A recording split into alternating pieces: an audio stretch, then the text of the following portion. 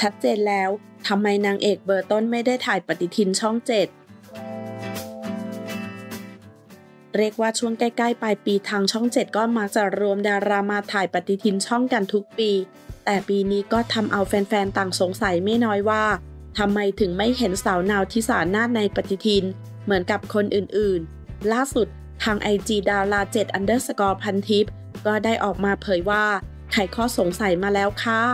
ทำไมนางเอกนาวทิสานาฏไม่มีรูปในปฏิทินช่อง 7 ปีนี้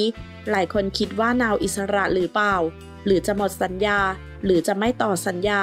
แอดดี้มาไขข้อสงสัยครับนาวได้ไปต่างประเทศก่อนที่จะมีการถ่ายปฏิทิน นาวไปต่างประเทศตอนต้นปี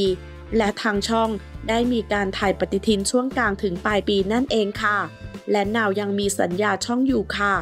รวมถึงนางเอกขวัญอุสามณีที่มีรูปในปฏิทิน ขวัญได้มีการถ่ายปฏิทินก่อนที่ช่องจะคืนสัญญาอิสระให้นั่นเองค่ะ